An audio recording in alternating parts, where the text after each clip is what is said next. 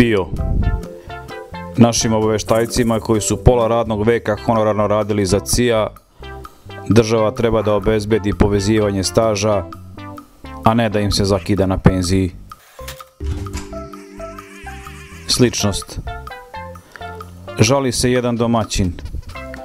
Ostao nam je još samo jedan džak peleta, pa sad u njega gledamo kao u posljednji ćevap na ovalu. Svaki bi ga uzeo, ali se plaši šta će ostali da kažu.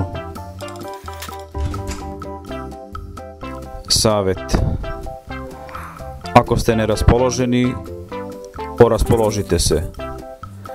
Za više psiholoških savjeta angažujte me kao svog life coacha.